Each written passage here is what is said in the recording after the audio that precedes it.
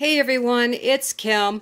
I wanted to share with you a really quick tip about citrus. Um, these are Honeybell oranges, and my parents send them to me once a year for my birthday because I, I absolutely love them.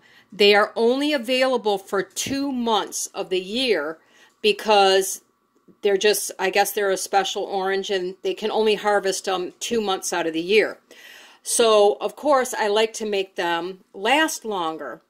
Well, uh, one thing that a lot of people don't know, and this goes with all citrus, whether it be lemons, limes, oranges, grapefruit, tangerines, whatever, is you can take them just as they are and put them straight into the freezer.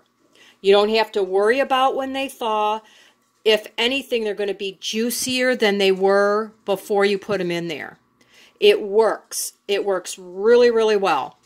And once I take them out, or when I eat them, or juice them, or whatever I'm going to do with them, what I do beforehand is I scrub the skins very well, and I zest them.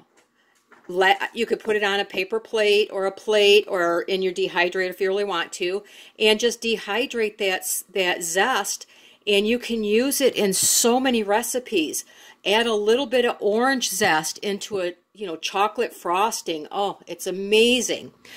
Then you if you really want to take it further, you could take the peels and throw them into some vinegar and make either a lemon scent or a you know lime scented vinegar that you can use for cleaning solutions and things like that. So I just wanted to give you a tip on how you can extend not only the orange harvest or the citrus, I should say, but some of the other things that you can do with them as well.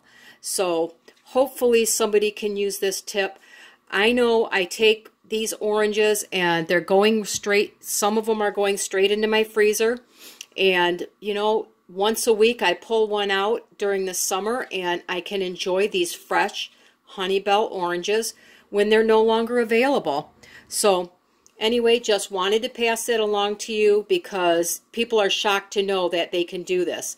And if you don't believe me, grab a lemon or an orange, throw it in your freezer for a few days, pull it out and use it. I guarantee it will change the way you look at citrus. Have a great day, everybody.